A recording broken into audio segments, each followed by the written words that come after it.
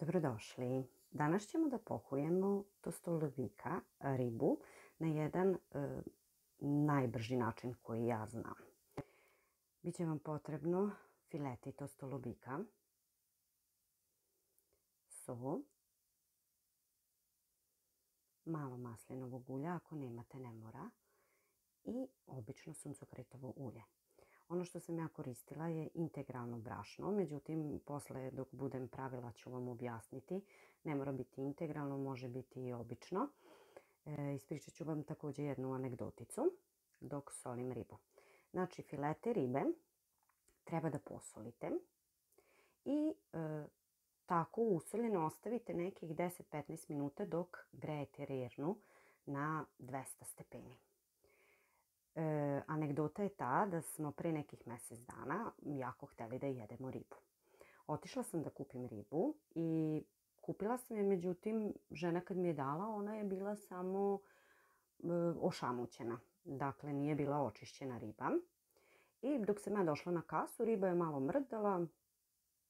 Ajde, možda su to samo refleksi. Sednem na biciklu i usred centra grada. Meni riba krene skakati u kurpi za biciklu. Gde sam se naravno ja uplašila, krenula da vrištim.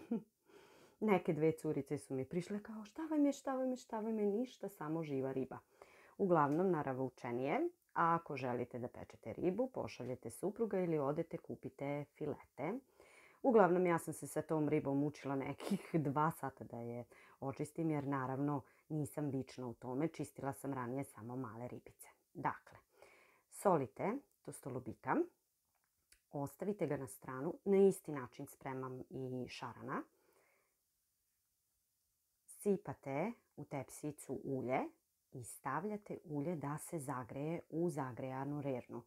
Dok se ono greje, e, znači riba će lepo da primi e, so, a u međuvremenu spremate e, s čime, ćete da je pohujete.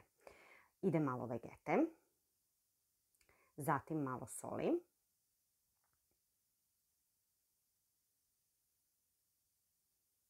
Stavljate kašiku dve palente jer je ona jako dobra kad se pohuje riba, onako e, sve okolo krcka, zato je volim staviti. Stavite malo crvene paprike i integralnog brašna. Prošli put kada sam pekla onog čuvenog šarana, ostala mi je mešavina običnog brašna.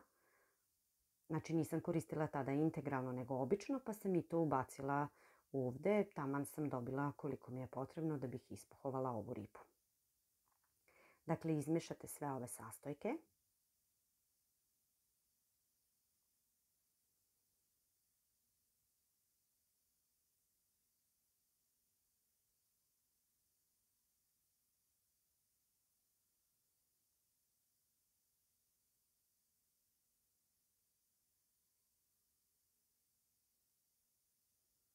Ostavite ga na stranu i vadite ono zagrijano ulje iz rerne.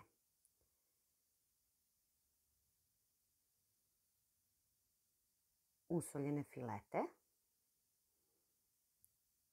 upohujete. Stavljate na vrelo ulje. Pazite da se ne opečete, ja sam tu kod nekog drugog, trećeg pačeta. Malo mi je skočilo ulje pa sam se opekla.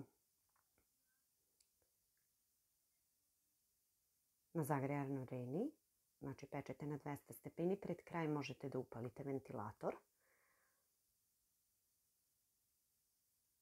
Ovako kad postavite ribu, od gore malo pospete maslinovog ulja i stavljate da se peče.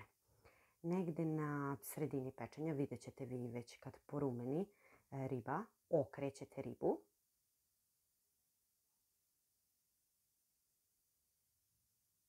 i to vam je to do samog kraja. Na samom kraju vadite ribu iz ulja, stavljate na papirne ubruse da se ocedi višak masnoće.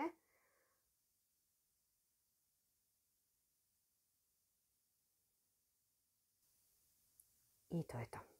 Hvala vam što me pratite i podržavate. Veoma sam ovaj, sretna zbog toga što sam prešla 500 pratioca. Ribu možete da služite sa limunom i krompir salatom.